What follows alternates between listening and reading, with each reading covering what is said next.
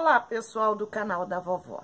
Hoje estou aqui fora porque eu quero primeiro mostrar para vocês uma receita para você ter uma pele de neném. Essa receita é muito simples, porque todo mundo tem em casa um pó royal e ovo. Então, gente, a receita é simplesmente isso. Uma colher de clara de ovo, e uma colher de fermento em pó.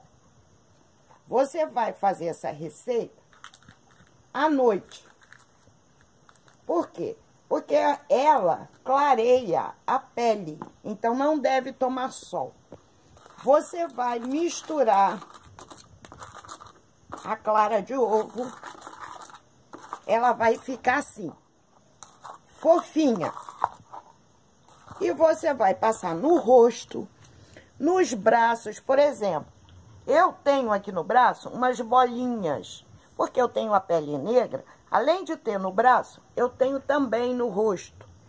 Só que com essas máscaras, minha pele está limpando. Estou mostrando aqui para vocês que eu tenho 62 anos. Então, a gente tem problemas de pele, mancha. E aí, é a hora de você cuidar. Olha como fica. É fofinho. Então, se você tem, por exemplo, cotovelos escuros, aqui é uma mancha que eu caí e aí ficou essa mancha escura.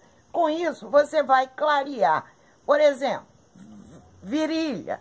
Pessoal que vai à praia, às vezes, abaixo do bumbum, fica aquela mancha escura. Então, isso aqui vai resolver o problema.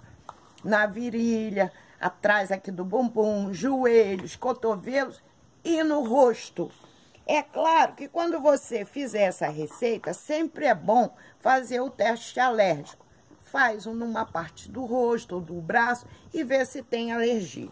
Mas essa receita é maravilhosa. Sempre fazendo à noite e após esperar um pouquinho, uns 5 minutos, secou, você lava o rosto e depois passa um hidratante ou um creme que você usa normalmente.